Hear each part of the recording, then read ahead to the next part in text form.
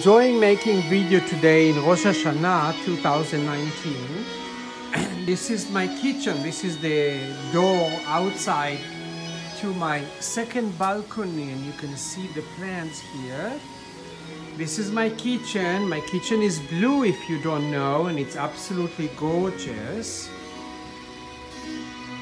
And I have some fruits here. This is the oven and this is something I'm very proud about.